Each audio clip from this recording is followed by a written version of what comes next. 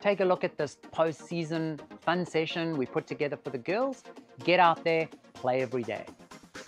We started the session with a square rondo with a 4v1. Then we moved into a rectangle, making it into a 4v2 plus 1 with a pivot on the middle line. Then on to some small-sided games and finished off with a 5v5 murder ball.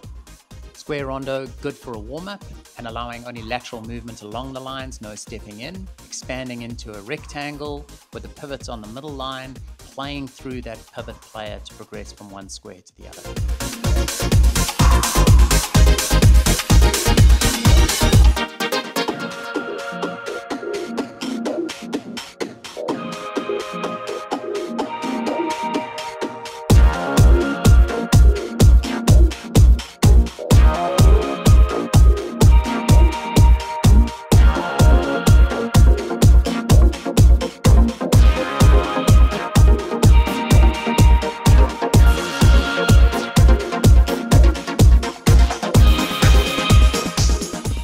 Small-sided games on a 20 by 30 pitch, 4v4, progressing the rules every 5 minutes.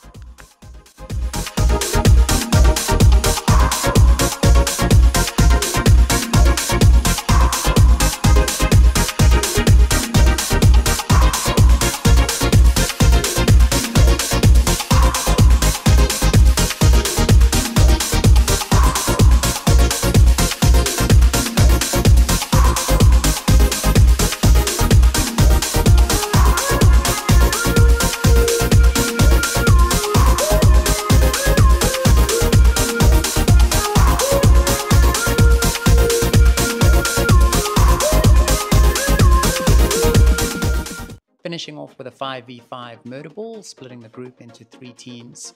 Two teams on, one team off, playing in rounds of three minutes or until a goal is scored. Goal is scored, we transition.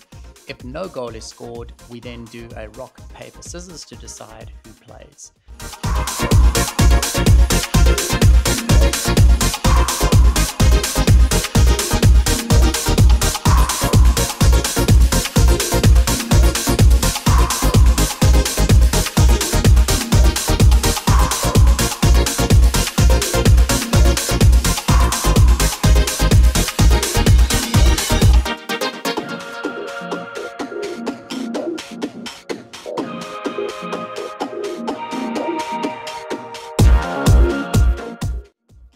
fun postseason session, giving all the players about 60 minutes on the ball.